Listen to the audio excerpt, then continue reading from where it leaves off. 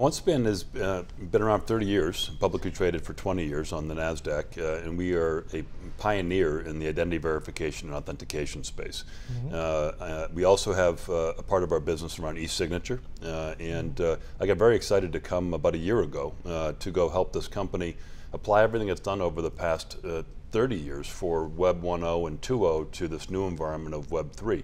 OneSpan is very unique in the sense that everything we do, whether it's on the cybersecurity side or the e-signature side, it touches end users like you or me.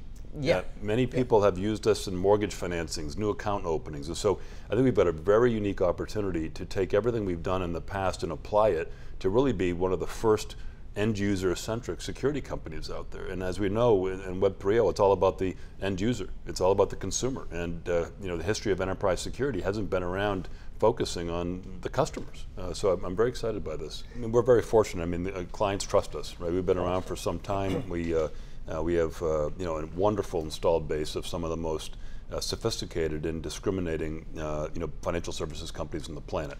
Um, we're global, and we've been dealing with this environment since we were born. We grew up in the global banking industry, which is, uh, you know, used to from day one uh, the regulatory and compliance environment, right? So our customers and other, and other customers look to us to help them understand how to implement technology while being compliant.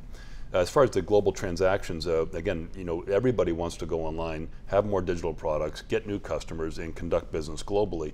And uh, whether it's a wire transfer or you know a, a, loan, you know, I think we're there as a trusted advisor for our clients to help them navigate that environment. So it's uh, it's part of what we do.